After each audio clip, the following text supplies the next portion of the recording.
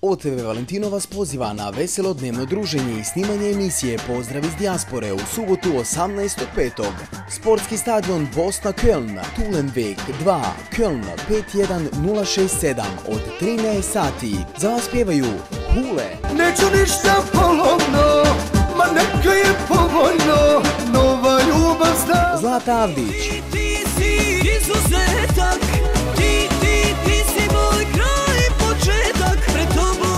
Rizo Hamidović, Evo ti ruka, ciganko, pogledaj moj dlan. Zekija Husetović, Hajmo, hajmo žene Sve u kolo pored mene. Jače smo od svega Mara i Lole, sam dama od 50 leta. Specijalni gosti Folklor iz Kölna. U sklopu Teferića održat će se i nogometni turnir s početkom od 10 sati. Sve informacije na broj plus 49 173 600 7932. Dobrodošli na veselo druženje i snimanje emisije Pozdrav iz dijaspore 18.5. Sportski stadion Bosna Köln, Tulenweg 2, Köln od 13 sati.